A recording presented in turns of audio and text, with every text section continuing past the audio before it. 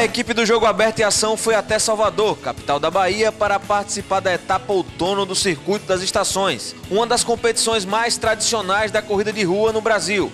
Antes de entrar em ação, é preciso confirmar a inscrição, pegar o kit e ficar por dentro de tudo. A segunda parte de, uma, de qualquer prova é você pegar o kit. Primeiro você faz a inscrição, né, pelo site ou, ou pessoalmente, dependendo do- da prova.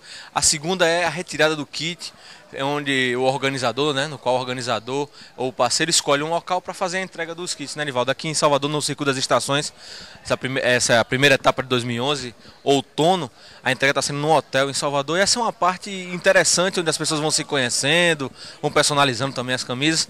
É, faz parte do ritual da corrida, né, Nivaldo? Isso, isso mesmo. O pessoal vai chegando, já vai vendo quem vai competir, já vê o nível do, do, do, do evento aqui, né? A estrutura que foi montada para fazer essa entrega, bem organizado, sinalizado. Então a prova já começa aqui, desde a entrega do kit, já começa o evento. Certo? E agora, Molina, Walter Molina, da Natal Runner, vai falar pra gente o que fazer nesses dias que antecedem a prova, né? A ideia é, o que foi feito já, de treinamento já foi feito.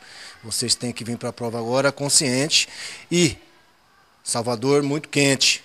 Então é, é- a ideia é se poupar, se hidratar muito bem e respeitar os limites do corpo. Os atletas retiram o kit em local pré-determinado pela organização da prova e pode até fazer personalização. Na luta para trocar a camisa por uma maior, Nivaldo venceu a batalha.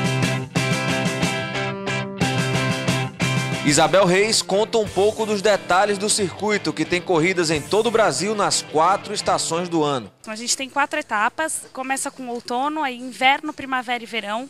Em cada etapa é uma cor de camiseta, é uma medalha e para as pessoas poderem completar o seu porta-mandala e de completar esse desafio de completar as quatro etapas durante o ano e sempre se manter correndo durante o ano todo.